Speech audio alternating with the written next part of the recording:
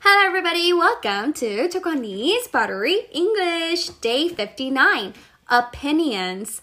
Opinions. 얘들아, opinions가 바로 무슨 뜻이냐면 의견이에요. 우리가 어, 상대방 또 친구들이나 누군가와 이야기를 할 때 나의 의견을 곧바로 잘 전달하는 게 아주 중요하지요. 자, 어떻게 표현할 수 있을지 또는 의견에 관한 어떤 단어들이 있을지 우리 한번 만나러 가보겠습니다. 자, 첫 번째로는요. 생각, 의견입니다. 머릿속에 딱 떠오르는 단어가 있나요? 맞아요. idea 되겠습니다. 해볼까요? idea.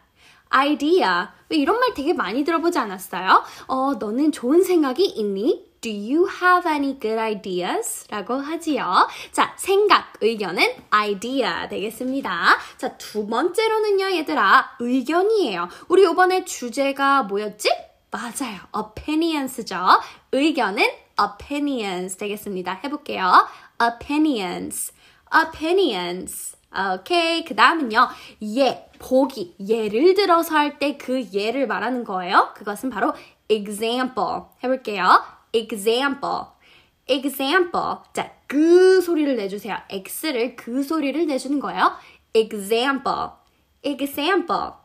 오케이. 그 다음은요, 위대한, 훌륭한이에요. 어, 위대한, 훌륭한. 영어로 뭐냐면, great.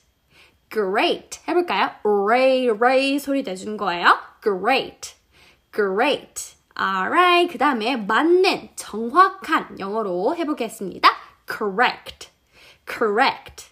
자, 근데 초코 언니 여기 굳이 크 소리가 들어가야 됐나요? 너무 어려워요. 하는 친구들은 C를 과감히 버려주세요. correct. correct. 라고 해주세요. 대신 T에 강조를 해서 뭐 소리를 내주는 거 잊지 말고요.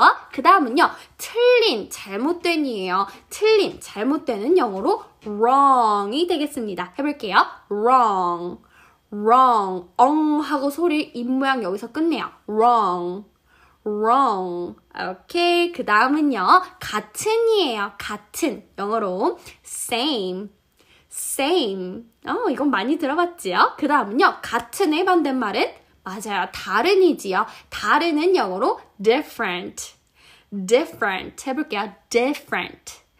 different. 오케이. 자, 여기까지가 opinions에 관련된 단어 8가지였어요. 우리 친구들 오늘도 너무 잘했습니다. 입을 뻥 끝에서 따라하고 있지요? 그럼 또 다음 클립에서 볼게요. Goodbye. See you alligator.